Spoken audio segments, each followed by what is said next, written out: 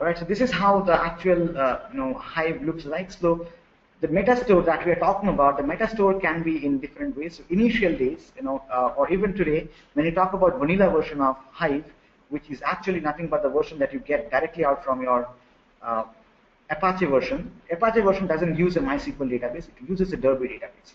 So Derby is a small, you know, a single instance database. Uh, so Apache Hive provides a Derby database. The problem with Derby is it only allows you to have one single connection at a time. So you cannot use Hive with Derby in a productionized cluster because it always gives you only one single connection. So other way is to set up a local metastore. So you can have multiple metastores all connecting to a single MySQL. It can be one way or it can have a remote metastore. So you can have your actual Hive residing in one node and you can have a dedicated box which is working as a SQL store. So that these are the three ways in which an admin can configure Hive. So you can install it on the same node as a Derby database. You can install it as a you know, SQL box in the same database, or you can have a separate dedicated MySQL box which can act as a metastore.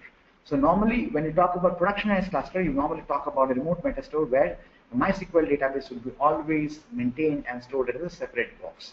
And that box can be uh, handling all your metadata information. Right? So this is more about how the metastore looks like. So what are the limitations of Hive? Uh, well, you know, Hive is a data warehouse which is not designed for online transactional processing. Second thing is it doesn't offer real-time analytics queries, you know, because every query that you file, every every SQL query that you try to write, is going to get converted into a MapReduce program. So if you're getting converted into MapReduce program, you know, it'll always have latency issues, right? So because we're talking about MapReduce program, MapReduce is a batch mode of programming, it always ends up having, uh, you know, uh, a latency. So you do not use SQL programs for real-time processing. It provides acceptable latency for interactive data browsing. So for, you know, you do not, and you should not be using Hive as the backend of any web application or websites. You know, because web application or websites can be a part of your actual, uh, you know, uh, real-time data processing or the real-time, you know, interactions with the clients. You do not want to have a latency-based system. So it is highly not recommendable to have Hive as a backend data store for your web applications or websites. And latency for Hive query is generally very high, it's in minutes. So if you run a program, if you run a process in Hive, it will normally run in minutes. So it is not used for all those ad hoc queries. It is not actually used for all those real-time queries, and it's definitely not used for or used as the backend of an actual web application.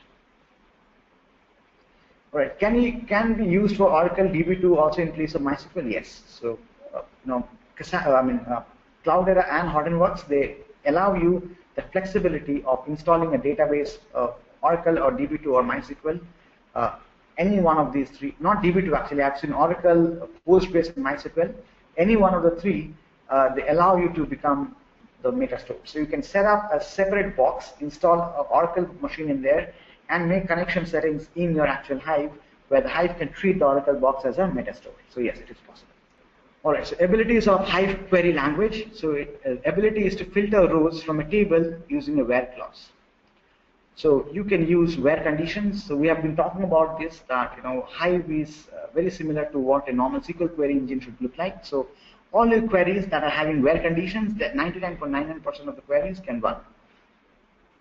Ability to do equijoins, so equijoins, left outer join, right outer join, all those join conditions, you can easily create and manage using Hive. So any tabular or table-based operations, uh, you know, are recommended to be done using Hive. Ability to uh, store the results of a query into Hadoop HDFS folder. So if you're creating a select query, the output of the select query can be pushed into another HDFS folder. So that is also possible. Ability to manage tables and partitions. So you can create and manage tables and create uh, you know, indexes, alter tables, or drop tables. So all of these are possible using Hive ability to store the results of a query into another table. So if you have a table and you're querying on table on top of you're joining a couple of tables, all those table outputs can be pushed into another separate you know, uh, folder in HDFS. So all of these are the capabilities of Hive, and these are something that you can easily do with Hive. Yeah, all right, okay. So, uh, so does it mean that even if you do not know Java, you can still work in Hadoop? Yes. So that's what I've been talking about for all these days, right? So Hadoop is not supposed to be technology specific. You know, either you know Python or Hive uh, or, or Java. No, it is it is more beyond technological or technical capabilities. If you know and if you know how to handle data, then yes. You know, if you have the logic building capabilities, then yes, handle this for you.